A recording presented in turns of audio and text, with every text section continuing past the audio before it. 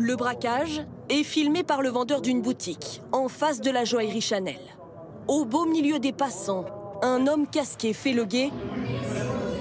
Ses trois complices sortent alors avec sang-froid Les gars, ça c'est un braquage.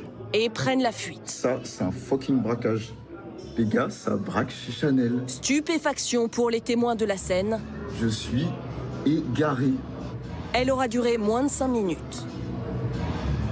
C'est que c'est comme dans un film, madame, c'est que ça va très très vite. Pas, pas ton agitation, vraiment, c'était dans le calme plein. Ce que je vous disais, c'est que le guetteur vraiment était là, vous avez des gens qui passaient, qui, qui voyaient à peine que c'était des, des braqueurs. J'ai pas entendu de coup de feu, mais j'ai vu euh, une calache du coup au bras d'un AK-47, au bras d'un d'un des hommes euh, qui attendaient à l'entrée de la boutique.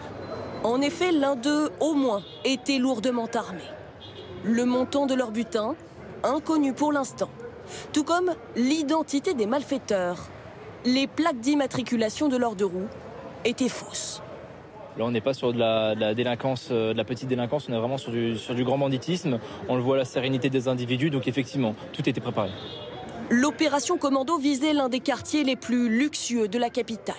Rue de la Paix, cette boutique Chanel est entourée d'innombrables bijouteries, à deux pas de la place Vendôme et de cette joaillerie Bulgarie, dévalisée en septembre dernier. Cette fois, aucun des malfaiteurs n'a pu être intercepté. Très vite sur place, les policiers de la brigade de répression du banditisme ont entamé leur enquête. Écoute de témoins, d'employés ils passeront aussi au peigne fin les caméras de vidéosurveillance, évidemment nombreuses dans ce quartier.